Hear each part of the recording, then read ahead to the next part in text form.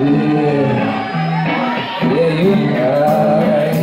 I just want to say, while you were in the studio, I had this little chorus idea, and somehow we got sponsored by a tequila company before the song was finished. I'm just gonna give you a taste of it. It goes like this.